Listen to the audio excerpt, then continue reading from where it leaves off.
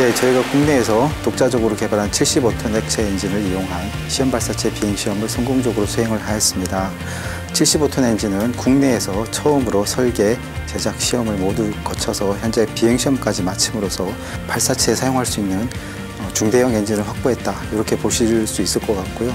그 다음에 이 정도급 규모의 액체 엔진을 개발할 수 있는 나라는 어, 전 세계적으로도 한 7개국 정도에 불과하다 때문에 우리나라가 지금까지 그 개발한 것들은 우주 개발 역사에 있어서 상당히 의미가 있는 부분이다라고 말씀을 드릴 수 있을 것 같습니다.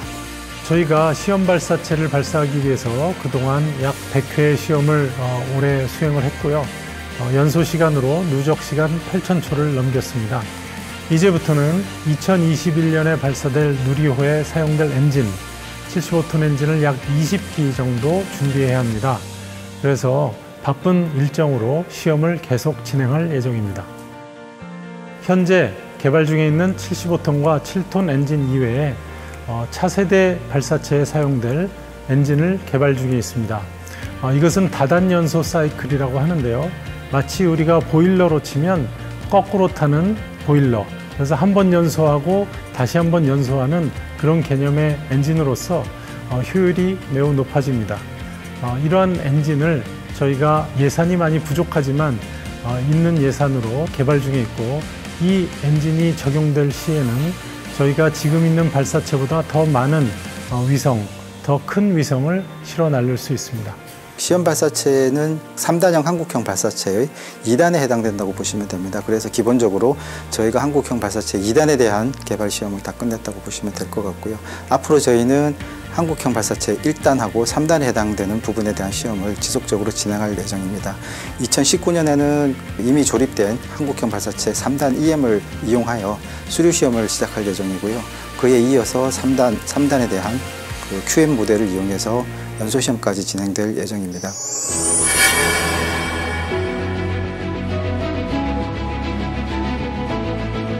저희 천리안 2 AO의 발사 성공의 의미는 굉장히 큽니다. 저희가 그동안 이제 저궤도 위성을 개발하다가 국내 독자적으로 정지궤도 위성을 개발했는데 그 소형 위성에서 중대형 위성급으로 저희가 위성을 사이즈도 커졌고 무게도 굉장히 커졌습니다.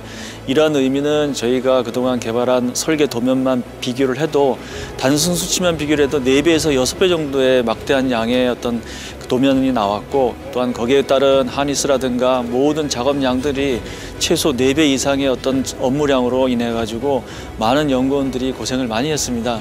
이러한 고생들이 결국은 많은 기술적인 데이터가 축적이 됐고 이러한 데이터는 결국 우리가 흔히 얘기하는 소형차에서 중형 세단급의 어떤 그런 자동차를 만들 수 있는 기술로 도약을 했다 이런 의미에서 굉장히 크다라고 볼 수가 있습니다. 어, 치얼리안 EA호는 어, 발사 이후에 약 2주간의 어, 자체 엔진으로 궤도 전이를 실시하여서 어, 정지 궤도에 안착을 하였습니다. 1월 20일경부터 우주 기상과 어, 기상 탑재체의 성능 검증을 6개월간 완료하여 2019년 후반부터 우주 기상과 기상 서비스를 시작하게 됩니다. 현재 천리안 2B의 개발 현황을 보면 현재 위성 본체는 조립이 완료가 되어 있습니다.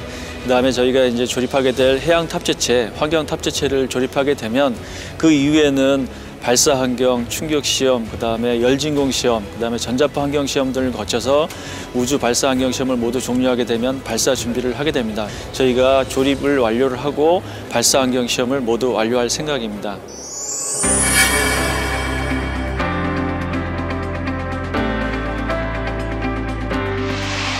UAV는 그 quad tilt prop UAV 무인기의 준말입니다. 기존에 그 스마트 무인기 사업을 통해서 두 개의 tiltrotor 그 무인기에 대한 기술을 확보를 했지 않습니까? 이제 그걸 바탕으로 해서 그 prop을 이제 늘리게 되는데 본 QTP UAV는 4개의 prop과 전기 모터로 구성되어 있는데 약 3.5kWh의 그 용량을 가진 배터리를 탑재해가지고 그 비행을 했습니다. 지상 시험도 하고 비행 시험을 했는데 그 당초 목표 한 170km/h까지 도달을 했죠. 단지 이제 배터리 보존을 할 경우에는 비행 시간이 굉장히 제한되게 됩니다. 현재 배터리 한계 때문에.